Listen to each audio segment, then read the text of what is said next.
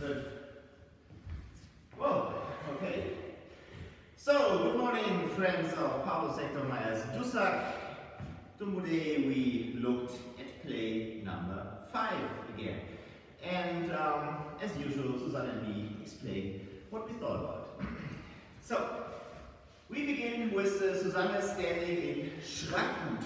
And Schrankhut is, um, mm, I think it's a little similar to, to Albach because you can easily underestimate it. Um, when I, she's clearly inviting me to, uh, to go for the upper target and um, yeah, for, for the head. And if I do that, all she has to do is going up, is going up with a Dussack or saber or whatever, and she can also just cut, just cut from my arm, from, uh, from below. So again, she can easily protect herself that's also what she uh, what she's doing in this uh, in this play in the beginning. Um, because uh, what, what I will do is um, I want to lure her out of this posture and I do this by attacking her wrist and her arm. So I don't I don't get into I don't get uh, there too too close. So this is why I step out a little bit and I go for her arm. Okay. And, and now she's she's really forced to protect herself, and she's um, she's not anymore in the position to do a good riposte. So, okay, but she has a plan, and her plan is, is going going up, protecting protecting her head. I'm there, and um, she steps forward and gets me on my uh, my left side. Because um, uh, you know you know this rule um, when I'm when I'm attacking from my left side that's what I did. Um, there's an opening. And she uses this opening and just goes there.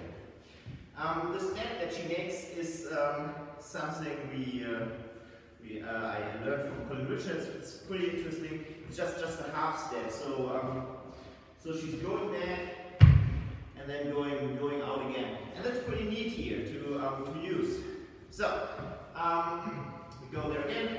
So, I take her arm, she steps out and goes for my head. I retreat, and here again we have in, uh, in the manuscript of Mair, he never tells you to, to retreat, he just says, okay, uh, you can parry that. So, um, that's the rule of thumb, whenever you parry, make a step back, and that's what I do. I step back and, um, and parry that, and she uses this um, to make it scarce.